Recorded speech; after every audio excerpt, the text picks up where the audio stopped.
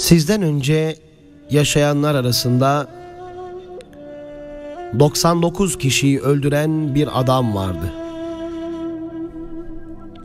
Bir ara yeryüzünün en bilgin kişisini sordu. Kendisine bir bilge rahip tarif edildi. Uzaklarda bir yerdeydi bu rahip. Gece demedi, gündüz demedi, az gitti, uz gitti ve rahibi buldu. Ona ulaşınca dedi ki ben 99 kişiyi öldürdüm. Ama şimdi pişmanım. Acaba benim için bir tevbe imkanı var mıdır dedi. Rahip dedi ki hayır yoktur sen çok büyük günah işlemişsin. Sen cana kıymışsın hem de bir değil, üç değil, beş değil, 99 cana kıymışsın. Sen 99 kişiyi öldürdükten sonra şimdi bu nasıl olacak ki dedi. Allah seni affetmez. Madem benim affım yok dedi. Madem sen bana bir çıkar yol göstermedin. Ben seni de öldüreceğim dedi adam. Ve o rahibi de öldürdü. Yüz kişiyi öldürmüş oldu. Geri döndü ama içi içine sığmıyor. Yaşadığı günahlar adeta bedenini, kalbini, ruhunu sıkıştırıyor.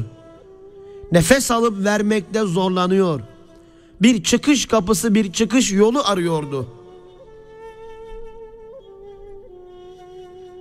Yine derdine derman, yarasına merhem olacak bir bilgin kişiyi aramaya devam ediyordu.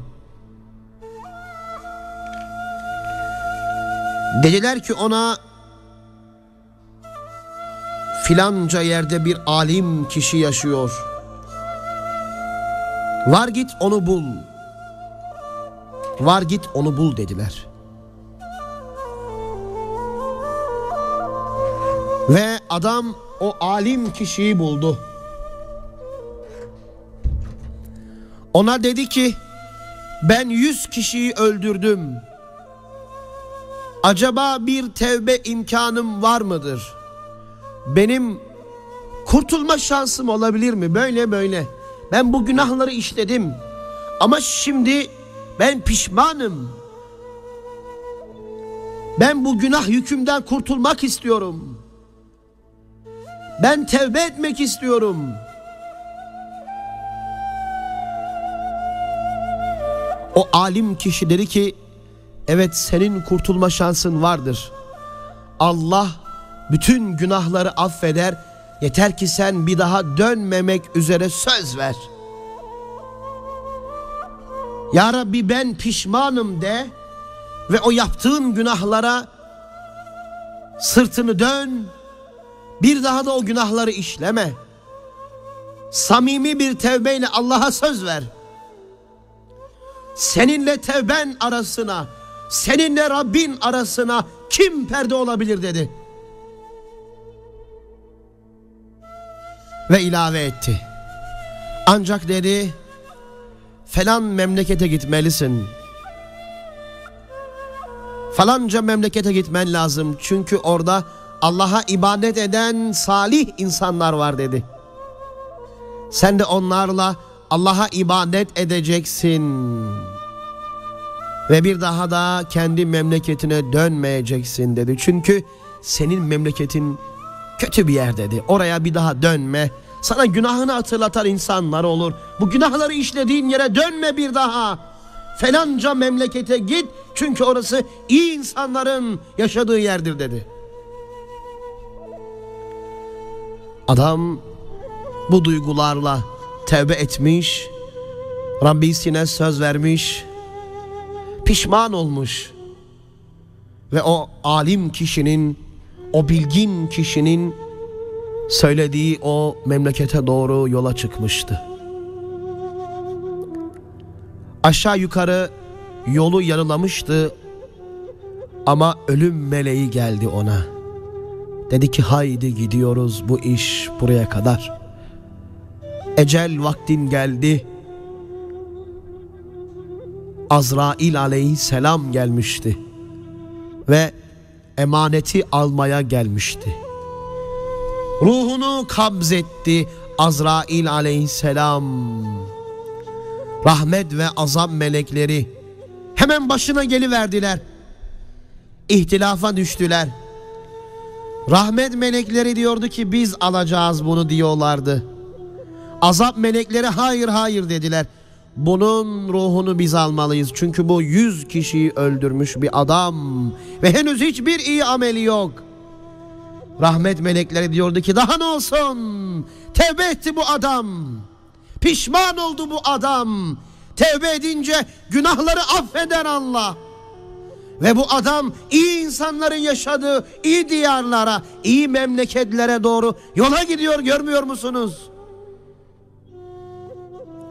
Bu adam tevbekar olarak geldi. Kalben Allah'a yönelmişti diyorlardı rahmet melekleri. Hayır hayır diyordu azap melekleri. Bu adam hiçbir hayır işlemedi.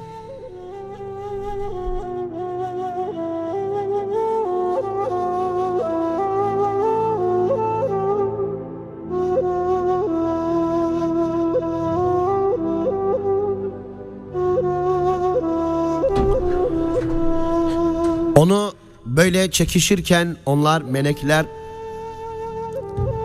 insan suretinde bir başka melek geliyordu. Yanlarına yaklaşıyor ve diyordu ki onlara Siz ne yapıyorsunuz? Dediler ki böyle böyle. Melekler onu aralarında hakem yaptılar. Acaba bu adamın ruhunu rahmet melekleri mi almalı? Tepelerin en tepesine, yükseklerin en yükseğine, güzellerin en güzel yerine mi götürmeleri?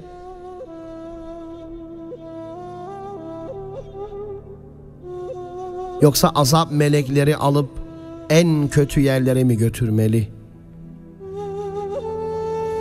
Hakem olan melek onlara diyecekti ki bu adamın yola çıktığı yerle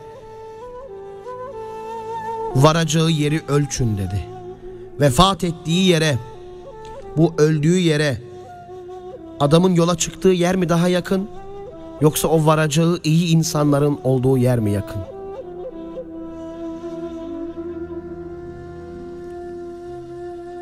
Ölçtüler. Ve o hakem olan melek demişti ki eğer bu adamın vefat ettiği yer varacağı menzili olan iyi insanların yaşadığı yere daha yakınsa rahmet melekleri ruhunu alsın. Yok eğer çıktığı yere yaşadığı yere o kötü insanların olduğu yere günahları işlediği yere daha yakınsa o zaman azap melekleri alsın ruhunu. Ve ölçtüler. Ölçtüler ki adamın vefat ettiği yer gitmeyi arzu ettiği o iyiler diyarına bir karış daha yakın çıktı biliyor musunuz? Ve Sahih-i Buhari'de, Sahih-i Müslim'de ve İbni Mace'de yer alan sahih bir hadisi şeriftir bu Resulullah sallallahu aleyhi ve sellem. Buyurmuşlar Ebu Said radıyallahu anh naklediyor. Efendimiz buyuruyor ki aslında bu adamın vefat ettiği yer çıktığı yere daha yakındı. Ama Allah emir buyurdu. Ve Allah yeryüzüne emretti, yeryüzü dürüldü. Ve adamın vefat ettiği yer iyiler diyarına bir karış daha yakın çıktı. Çünkü adam tevbe etmiş.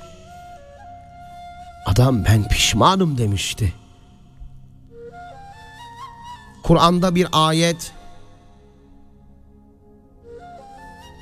قل يا عبادي الذين أسرفوا على أنفسهم لا تقنطوا من رحمة الله إن الله يغفر الذنوب جميعا buyuruyor Allahu Teala.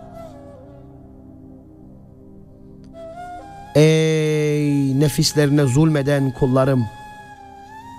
La taknatu min rahmetillah. Allah'ın rahmetinden ümidinizi kesmeyin. İnna Allah yaghfiru zunube cemi'a.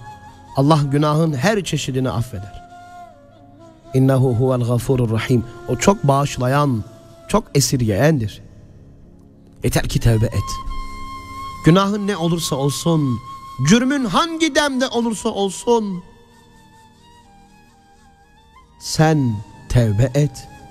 De ki ben pişmanım.